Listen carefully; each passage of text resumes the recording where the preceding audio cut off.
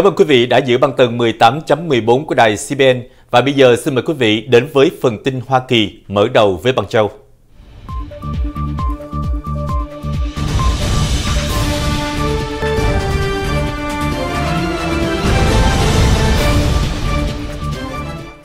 Kính thưa quý vị, đảng Dân Chủ đài thắng bầu cử ở Virginia.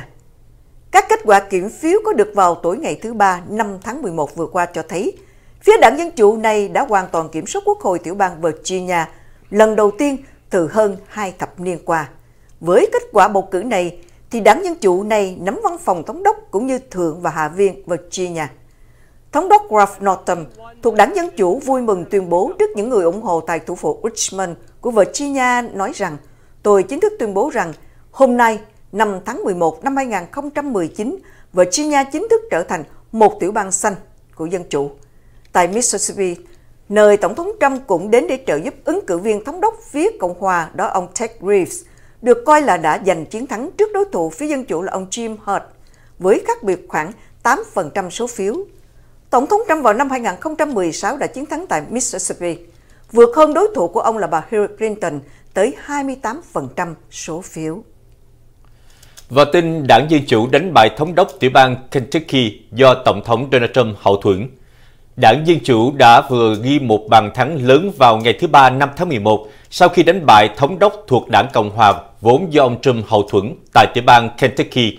Trong khuôn khổ của cuộc bầu cử diễn ra trên toàn quốc, người giành chiến thắng trước thống đốc Matt Bevin làm Bộ trưởng Tư pháp tiểu bang Kentucky Andy Beshear, ứng cử viên phía đảng Dân Chủ. Ông Andy Beshear vào khuya ngày thứ Ba có khoảng 6.000 phiếu hơn đối thủ của ông là đương kim thống đốc Matt Bevin thuộc đảng Cộng Hòa. Trong tổng số cử tri đi bầu vào khoảng 1.4 triệu người, ông Beshear tuyên bố chiến thắng với các giới ủng hộ, nhưng ông Biden chưa chịu nhận thua vì số phiếu khác biệt quá nhỏ. Tổng thống Donald Trump hôm thứ Hai đã đến Kentucky để vận động tranh cử vào phút cuối cho ông Biden.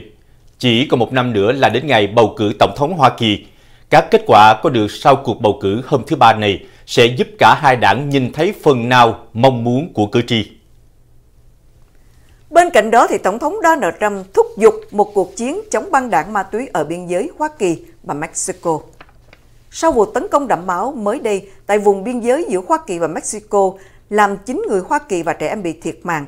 Tổng thống Donald Trump đã kêu gọi các nước láng giềng hãy chung tay truy quét các băng đảng ma túy được cho là đứng đằng sau vụ tấn công này. Hôm thứ Ba, một đoạn video quay lại được cảnh bà chiếc xe chở hàng chục người đi dự đám cưới ở vùng biên giới Hoa Kỳ và Mexico đã bị bắn bốc cháy và những người bị mắc kẹt trong xe đã bị thiêu sống.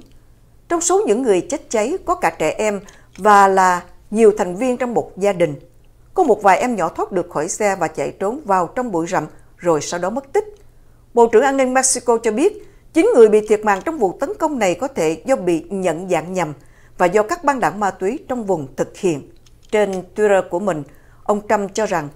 đã đến lúc để Mexico phải tuyên chiến với các băng đảng ma túy và quét sạch bọn chúng khỏi thế giới này với sự hỗ trợ của Hoa Kỳ.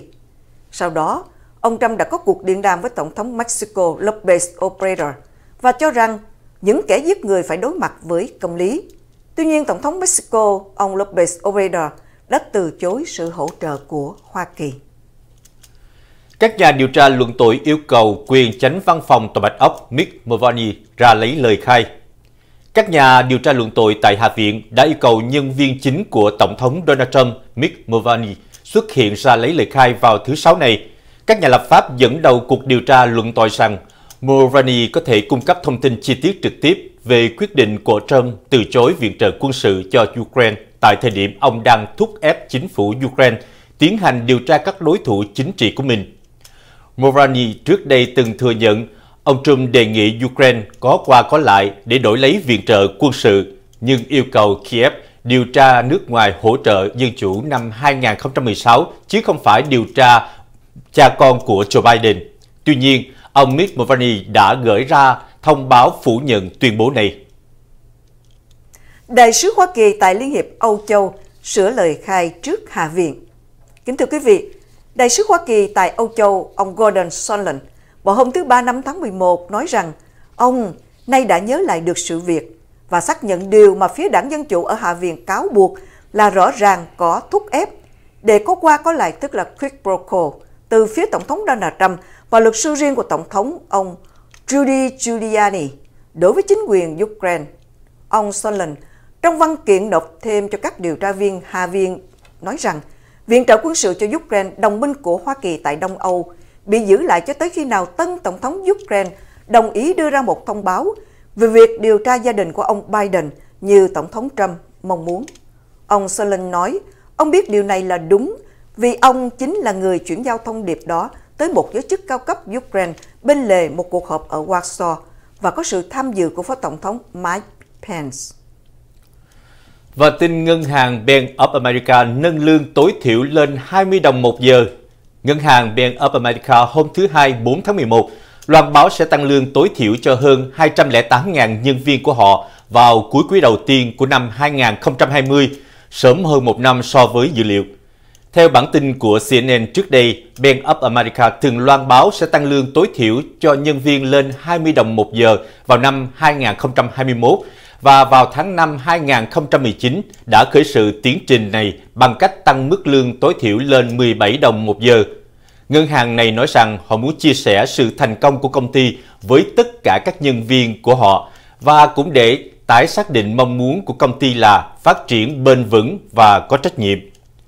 Việc tăng lương cho các nhân viên ngành ngân hàng làm việc trực tiếp với khách hàng, như các thâu ngân viên đang trở nên quan trọng hơn vì sự tranh giành nhân viên trên thị trường lao động đang ngày càng trở nên gay gắt hơn. DMV California tiết lộ thông tin cá nhân của 3.200 tài xế. Cơ quan DMV California đã tiết lộ thông tin cá nhân của hơn 3.000 người cho 7 cơ quan chính phủ khác là những người từng bị điều tra hình sự, theo nhà chức trách cho biết vào hôm thứ Ba. DMV đã gửi thư thông báo việc này cho 3.200 tài xế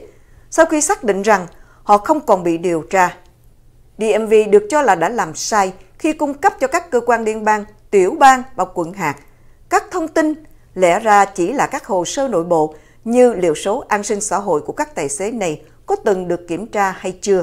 hoặc liệu những người có đủ tiêu chuẩn để được cấp sổ an sinh xã hội hay không. Hơn 3.000 người này đã từng bị điều tra bởi các phòng công tố tại hai quận hạt Senio và Santa Clara. Thông tin của gần 200 người sau đó được gửi cho Bộ Nội an, bao gồm hồ sơ của 6 di dân lầu, là những người có mặt bất hợp pháp tại Hoa Kỳ nhưng đã xin được cấp bằng lái đặc biệt cho di dân. Nhà chức trách nói, hiện chưa rõ các thông tin này có bị sử dụng để điều tra tình trạng di trú của các tài xế hay không, hay là dùng cho mục đích gì khác.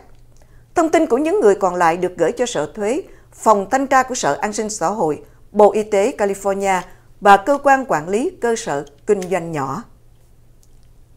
Một lần nữa, xin quý vị tiếp tục giữ băng tầng 18.14 của đài CBN. Chúng tôi sẽ trở lại ít phút với phần tin Việt Nam và đời sống.